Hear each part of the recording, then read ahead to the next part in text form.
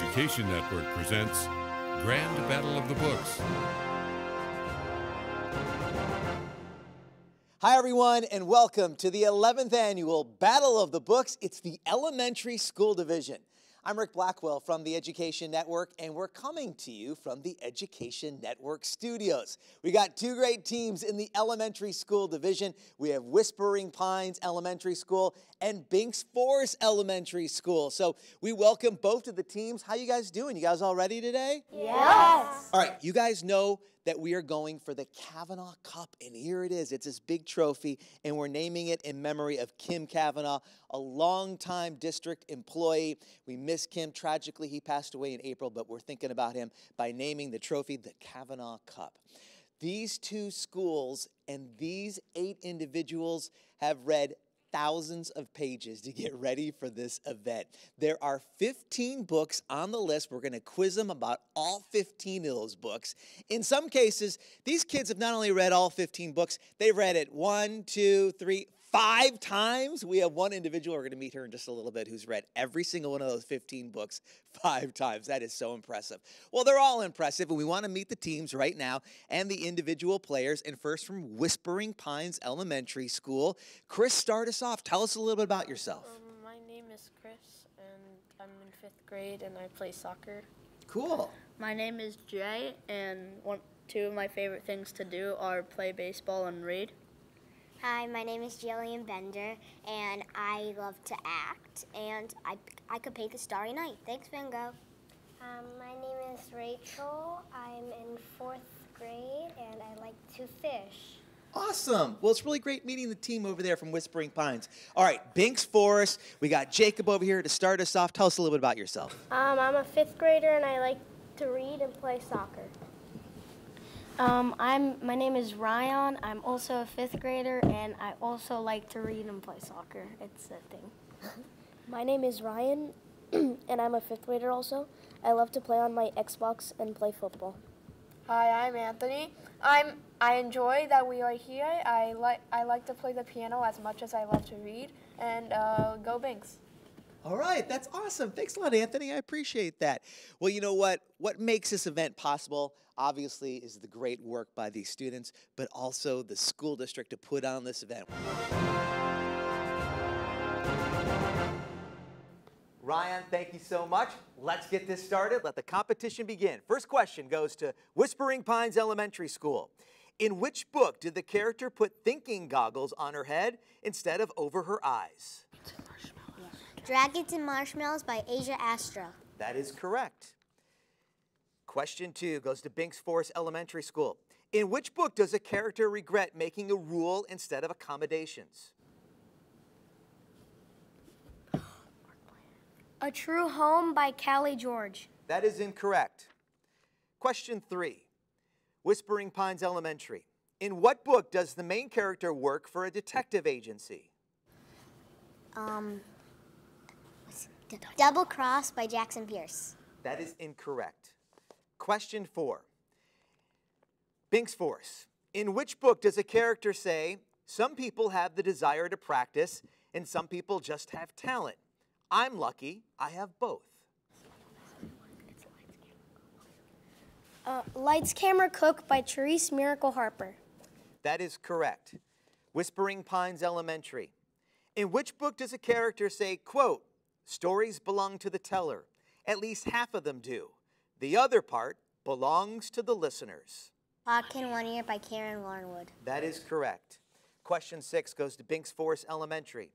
In which book does a character wait for an elevator because he, she doesn't get to ride one that often?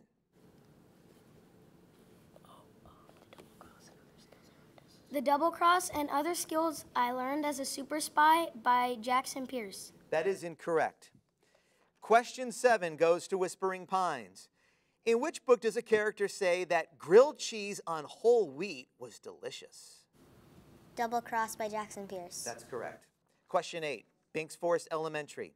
In which book did the aunt want her niece to sing a Mariah Carey song with her at church? The Sweetest Sound by Sherri Winston. That is correct. Whispering Pines, question nine.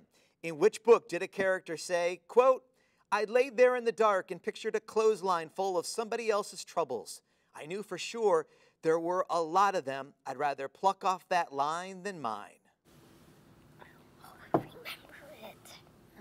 I Love You, Michael Collins by Laura Logsted. That is incorrect. Binks Forest Elementary. Question 10. In which book does a character declare, I like the hearts, they're the tastiest?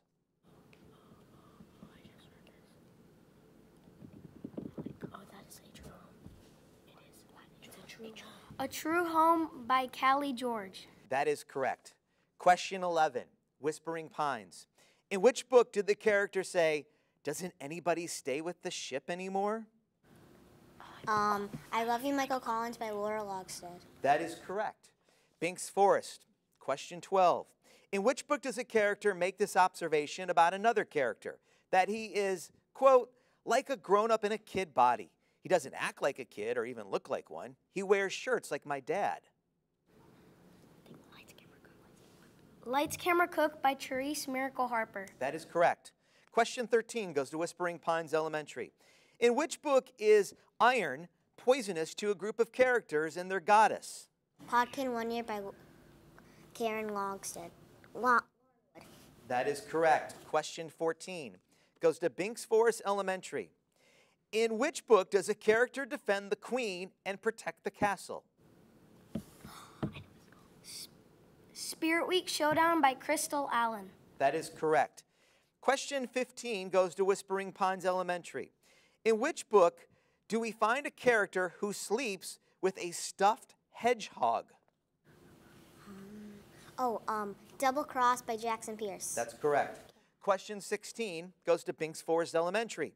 In which book do the father want his want in which book do the father want his sons to go to Penn State?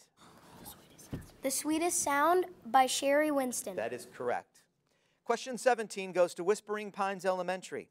In which book does a character say, quote, I knew what it felt like to be astray, not having a home where somebody wanted you, and he was a fighter like me?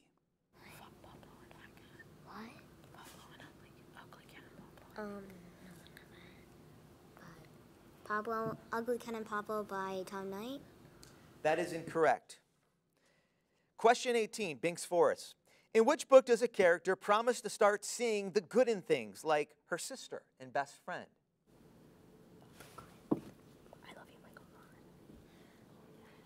Wish by Barbara O'Connor. That is correct. Question 19 goes to Whispering Pines Elementary. In which book was there a sick dragon? Dragons Marshmallows by Asia Citro.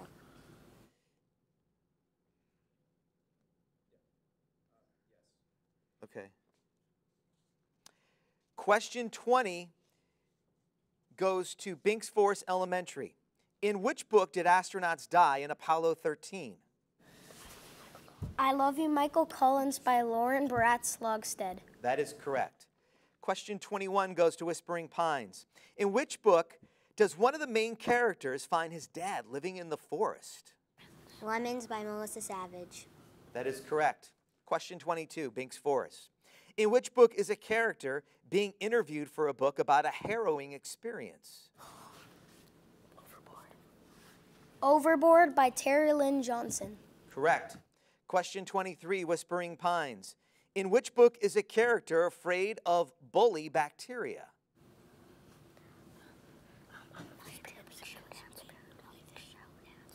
Spirit Week Showdown by Crystal Allen. That is correct. Question 24. It goes to Binks Forest. In what book do they compare what happened to them to Jurassic Park? The Ark Plan by Laura Martin. That is correct. Question 25. It goes to Whispering Pines. In which book is a character's prized possession a fancy display case of teeth? Um, the Great Treehouse War by Lisa Graff. That is correct. Question 26 goes to Bink Forest Elementary. In which book does a character declare, I almost lost my lasagna?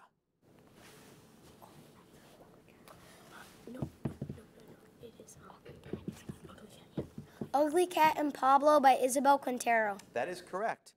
Question 27 goes to Whispering Pines. In which book did one character advise another to invoke a fruit when angry? Lemons Lemons by Melissa Savage. Say that, say that one more time. Lemons by Melissa Savage. That is incorrect. We now go to question 28. In which book do we learn that aardvarks are fast diggers? Spirit Week Showdown by Crystal Allen. That is correct. Whispering Pines Elementary. In which book is a character's walls covered in neon pink and purple posters depicting animals and cheerleaders? Double Cross by Jackson Pearce. That is correct. Binks Forest Elementary. In which book did the main character name her dog after a constellation? The Sweetest Sound by Sherri Winston. That is correct. Question 31 goes to Whispering Pines. In which book does a character state, Look at me, look at this face. This is the face of a heartbreaker?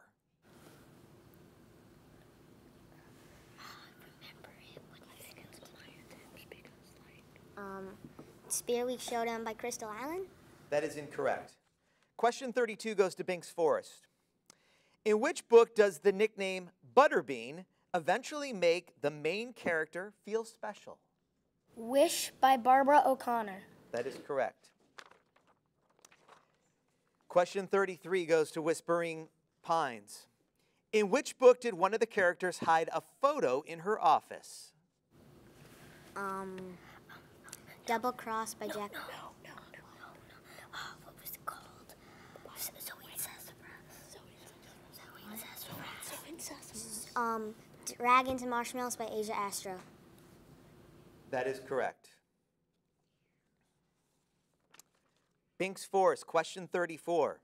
In which book did a character decide that she didn't want to run and hide anymore because, quote, that's what she had done all her life?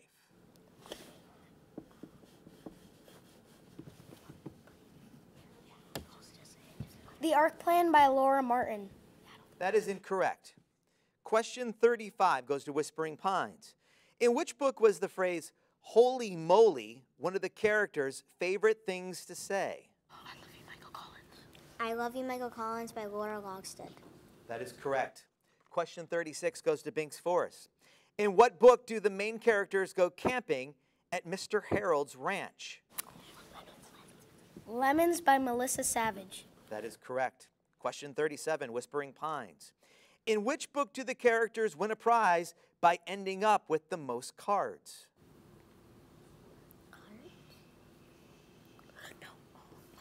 Oh, no.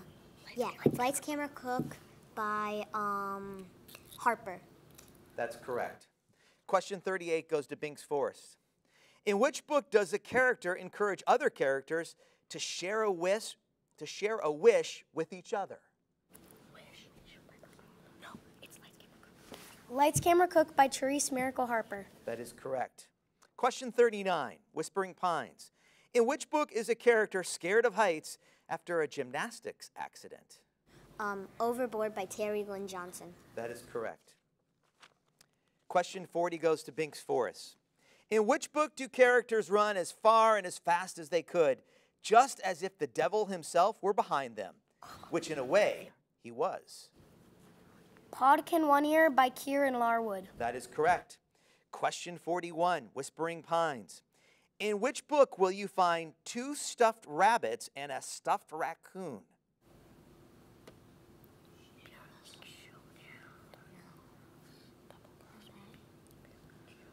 Podkin One Ear by Kieran Larwood. That is incorrect. Question 42 goes to Binks Forest. In which book does the main character discover her grandfather who hates her father? The Ark Plan by Laura Martin. That is correct. Question 43, Whispering Pines Elementary. In which book does a character find bugs in the linen closet?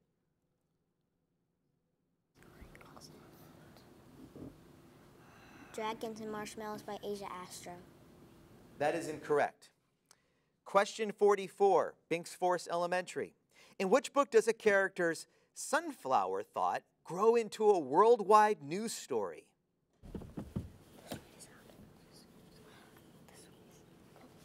The Sweetest Sound by Sherri Winston. That is incorrect. Question 45, Whispering Pines Elementary. In which book does a character think that he'd seen plenty of little girls playing with mice and rats and guinea pigs and even, shudder, tarantulas?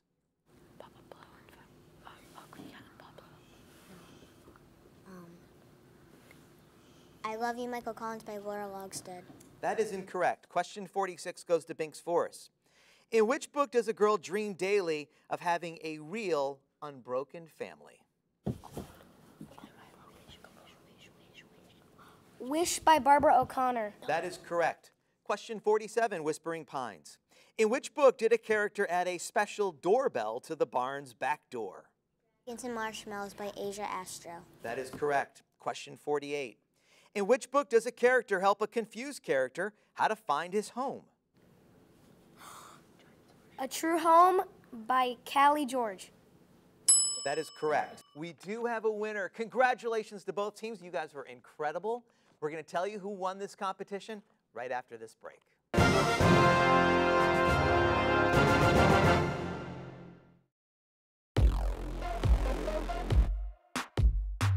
Since inception and rollout, it has been spot on.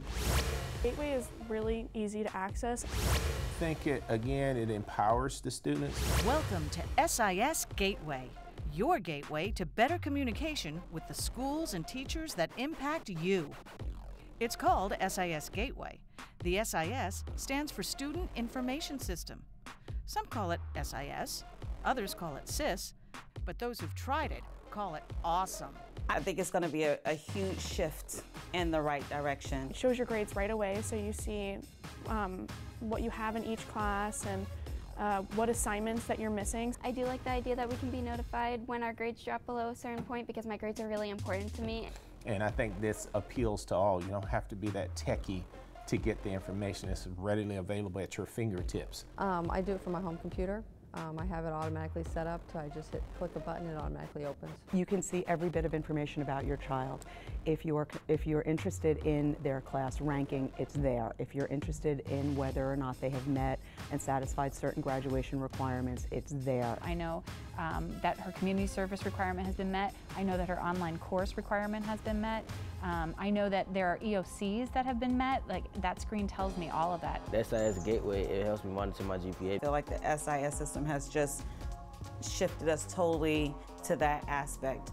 With the email access, parents are e able to email that teacher instantly. Will we automatically have access to attendance? I like the fact that I'd be able to add the my additional students on, my kids on, onto one screen, and I wouldn't have to go back and forth and remember different usernames and passwords for each one of them. I have it linked to my phone where I can get updates or alerts as needed.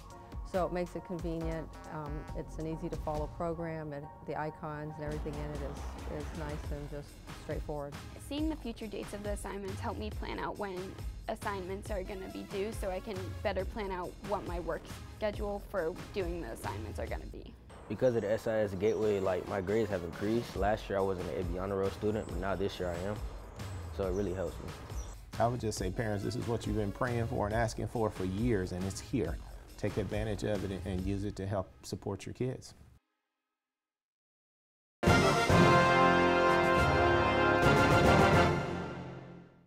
Welcome back to Battle of the Books. What an exciting competition in the elementary school division. This has just been so much fun. Once again, these students read 15 books. In some cases, they've read them two, three, four, five times. And I'm with Nolan Rall from Library and Media Services. And Nolan, it's always so much fun to see these kids really getting into reading. It really is. I mean, the the really great thing about this list of books is it covers lots of different genres, and it gets the kids to read books that maybe they might not have read otherwise, um, and kind of gets them out of their comfort zone reading. All right, to get to the finals, they competed online. So this is kind of the best of the best in Palm Beach County to begin with, correct? It really is. So um, at the elementary level, there was over 530 teams that competed to, to qualify for this spot. So these two teams were the, the best of the best. And just real quick, a shout out for all those media specialists out there that do such a great job at their schools. Our media specialists are really amazing, and they, they really do a good job, like getting the kids not just to do Battle of the Books, but a lot of other programs as well. All right, time now to announce the winners. First in second place in the elementary school division, Nolan, I'm going to let you handle this. All right, so second place this year in a very close competition was Whispering Pines. Whispering Pines Elementary School, congratulations. We are so proud of you. Jillian is the captain. Jillian, come on over here. First of all, I am so impressed with you. You said that you read the 15 books five times each. What is it about reading that you love so much? Well, I love imagining how they could take you into another world. They just, it's just, I, I just love reading and how I could just imagine all the things that are happening. You talked about that you love theater and you love reading. Have you do you have any ideas what you want to do for a career when you get older? Art, acting, and hobby for reading. Triple threat. Jillian, thank you so much. Whispering Pines Elementary School, congratulations on a second place finish. You guys were wonderful. Nolan, come on over here. Let's grab the gold medals. And I guess that means that Binks Forest Elementary School is your champion in the elementary school division. Ryan, congratulations. What an accomplishment. Tell me about what it feels like to be the champion. Um, like it, it feels awesome because we worked so hard. It took us three years to get here because we started in third grade, and it started out rough. Actually, we didn't get we didn't get far in third grade. Fourth grade, we won our school, and then now we're here and we won the whole county. So that's we're we all feel good. You guys should feel good. Congratulations to the team from Binks Forest Elementary. No one putting it uh, around Ryan's neck. And congratulations to all the participants. We're going to do some pictures with the Kavanaugh Cup. And Nolan, if you could maybe bring this over here, we'll, we'll hand it to the to the team. And once again, it's been really special this year to honor Kim Kavanaugh, the longtime school district employee who passed away in April. And we, of course, are honoring him with the Kavanaugh Cup. Congratulations to Whispering Pines Elementary. You guys were sensational. Binks Forest is your elementary school champ. Thanks for watching Battle of the Books on the Education Network.